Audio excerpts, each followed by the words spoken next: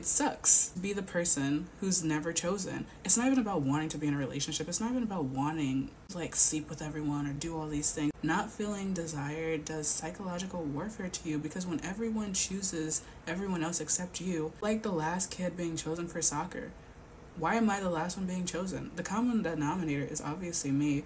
And then it just makes you feel bad. People are like, oh, self love this, self love that. Like, yeah, okay, I do love myself. But it'd also be nice to feel desired by other people other than myself. You know, self love is like freaking cauliflower wings. They taste good, they're delicious, they're nice if you want a crispy fried snack, but if you're craving chicken wings, the cauliflower wings are not gonna cut it. They're gonna be good, they're gonna be alright, but it's not the same thing. I wanna walk into a room and people will be like, oh, wow, that girl. But instead, I'm the person where people grow to like me. They're like, oh, she's so funny. She's so nice. She's so kind. People like me for my personality. I'm Mr. Personality, which is fine. Just saying everyone get to experience all these different things, all these different experiences, or when you're at the bar and everyone's flirting with everyone except you, and you're just standing there alone, awkwardly. You have to go to the bathroom. What else are you supposed to do? No one's talking to you. Everyone's talking to everyone else. I don't know. Anyway,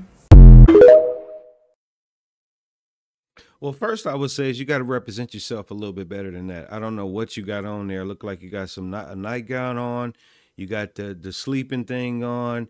You got your hair kind of looking kind of crazy. You know what I'm saying? I mean, you got to represent. Now, you might say, "Well, I'm not out on a date and I'm not trying to impress a guy or I'm not trying to, you know, look a certain way." Yeah, but you're you're you're representing that look to the world. You know what I mean? When people get to know you and see you and they're not attracted to you uh, in the beginning and you're you end up being a cool person, yeah, people are going to be friends with you, but you have to be desirable. And you have to understand that as a woman, there's a lot of competition out there. So you need to represent yourself the best way you can without being phony and fake. Just be original. Don't put on an act. Don't try to be the funniest one in, one in the room unless you are. You know what I mean? Just just be you. Represent yourself, and never walk out the house or never post a video looking crazy. You know, when I was a little kid, I remember my grandfather told me he was like, "Don't you ever walk out of this house not looking your best." And that applies to you too, young lady. Stop getting on here. You, I'm glad you don't have a bonnet on. I, I, you know, I'll give you that but there's no point in having that thing up here that you you know block out your eyes so you can go to sleep having your nightgown on. You know it just does it's not a good look. Men are not going to be attracted to that not for any type of commitment. So my advice to you is get your confidence up stop doubting yourself.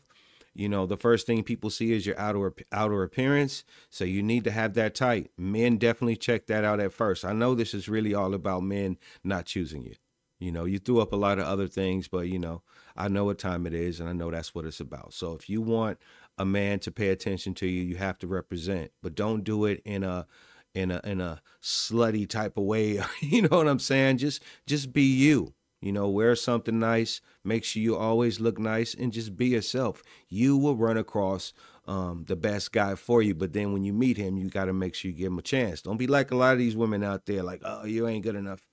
Oh, you ain't good enough. Oh, you don't make that much money. Oh, you're not tall enough. All these things that really don't matter in the end. You think a lot of those women that are 100 years old or 90 years old that are shorter or taller than their husband actually care now how tall somebody was? How much money somebody has? So just be real and get up your confidence. And don't, please, don't get in videos looking like Aunt Jemima. You have the power to achieve anything you want. Don't let anything or anyone distract you from your goals. And remember, stay focused, stay strong, and stay positive. Make sure to like, subscribe, and share this video with those in need.